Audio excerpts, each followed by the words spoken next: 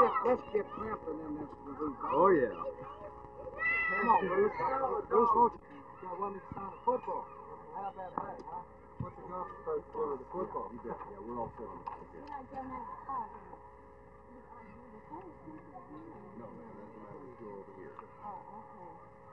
There, meeting uh, room. You see him on television every night. You fuss. You, I want to watch the news, and you want to watch the Cartoons, huh? right.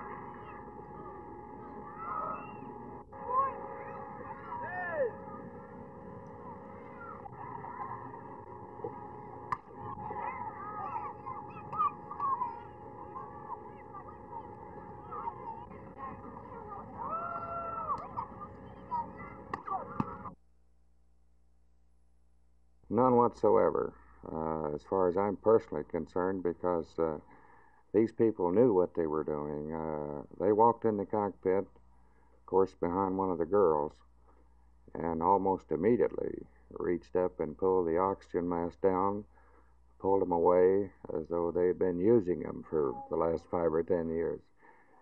And approximately five minutes after that, we are also made aware of the fact that we no longer had any first class passengers.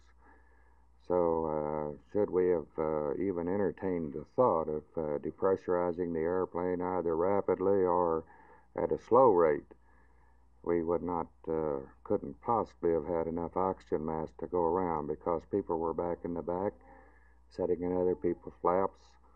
We had a 146 passenger airplane. We had 143 people on board. This was a case of uh, uh, people that had done some studying in this area and knew what they were doing, and uh, uh, really dead set in their in their ways.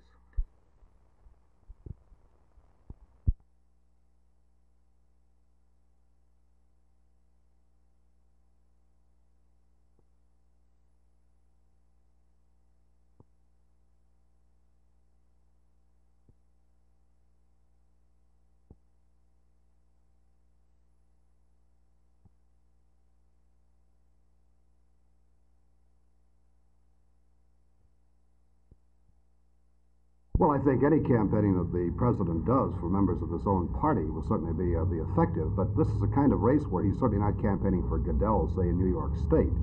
And it's very difficult to put party labels on people this year. You've got an awful lot of switching, perhaps more so than ever before. There's more liberal, moderate, uh, uh, conservative vote uh, voting this year, prob- perhaps than we've had in the last uh, two or three decades. Now, as a Capitol Hill correspondent, do you feel that Bentsen or Bush will be actually ahead? I, I can't say. I was in uh, Houston last night talking to some people who are very, very close with, uh, with both um, uh, campaigns, and uh, they're both agreeing that it's going to be extremely close. It's extremely tight race.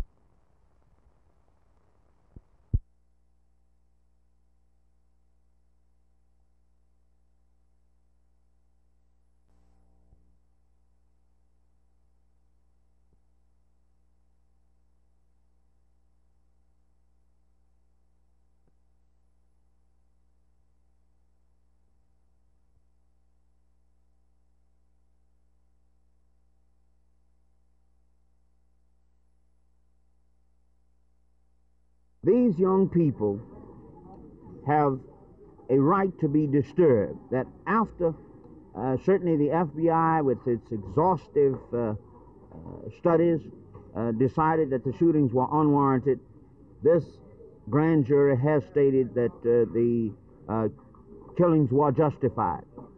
It seems to me that you can't ignore the fact that the governor in Ohio had very strong feelings about what took, took place in his state. And you can't ignore that there are literally dozens of pictures that were made at the time of the shooting, which indicated that the students did not constitute a threat to the lives of the uh, National Guardsmen there at Kent State.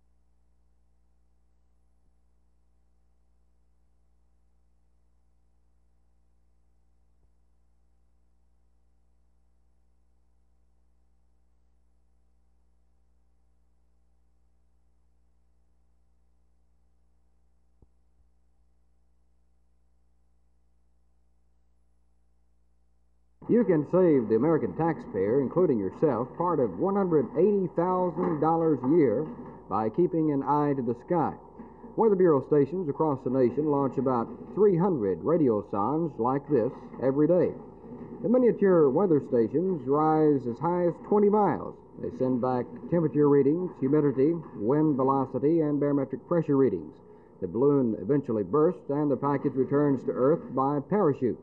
Each radio radiosonde package, balloon, and parachute cost about $30, and only about one fourth of them are ever returned. Most of them are never heard of again, landing in remote areas. But if you do spot a radio radiosonde package, full instructions for returning it to the reconditioning center at Joliet, Illinois are attached, and it's such a package as you see right here. This is a Weather Bureau radio radiosonde. The instruments can then be used again once they are renovated at a cost of only about $8.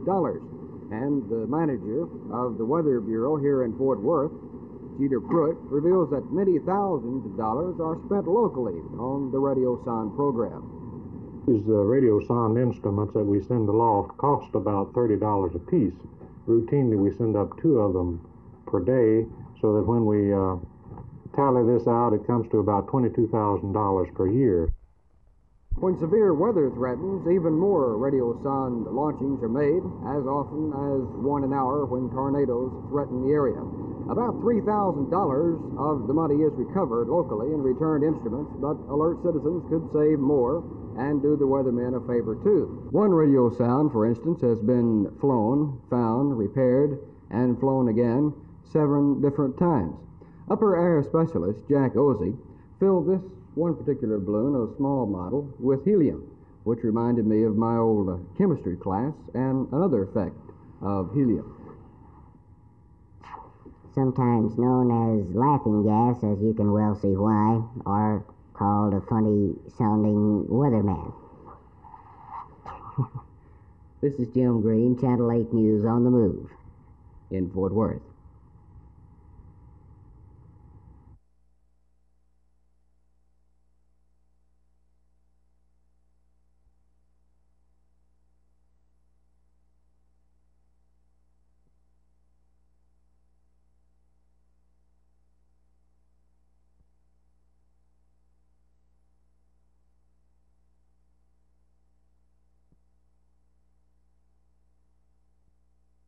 In the immediate future, I think what uh, uh, will happen is a, a, a, widening of the process of mutual self discovery, of discovering between Roman Catholics and Methodists a, co- a common or shared heritage uh, in spiritual life, in um, Christian experience, in the uh, concerns and aims uh, of um, their respective Christian professions.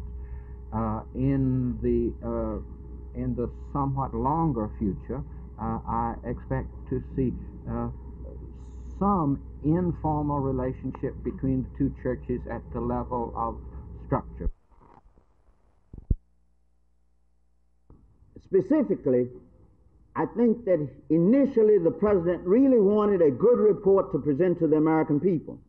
But then it got out of hand because, number one, we were saying some things that uh, uh, they had not wanted said.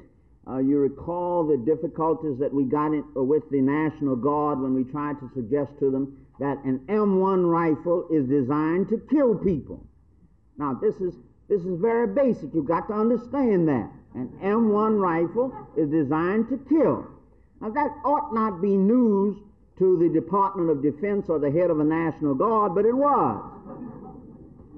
Uh, when we asked the the general, General Del Corso, uh, in uh, Ohio, why is it you did not shoot over the heads of those students at Kent State? He said, that's too dangerous.